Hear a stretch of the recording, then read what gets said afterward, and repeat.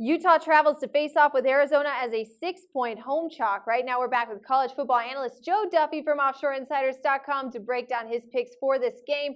Now, Joe, Arizona quarterback Anu Solomon has had an amazing performance here last week. Uh, then the Wildcats are back at home. Utah might even be looking ahead to that game they've got next week against UCLA. Uh, could the underdog cover here? Could maybe we see an upset even on Saturday?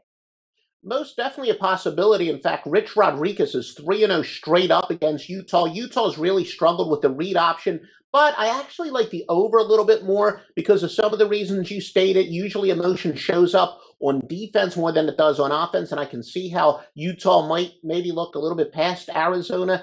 And Arizona, as I said, their offense has really confounded Utah. But conversely, look, Utah's averaging 41.2 points per game on the road. Arizona averaging 47 points per game at home. I think because it's going to be in the upper 70s, almost 80 degrees, they're going to try to take advantage, Arizona is, of that home field advantage where they're a little bit more used to the heat in the, uh, the, the hot, you know, the, in the desert. So I think it's going to be a fast tempo game. The reason I like the over more than Arizona outright, I don't know if Arizona matches up very well on the defensive side of the ball. So I think there are going to be tons of points here. I don't disagree with you, but I do think the best play is the over.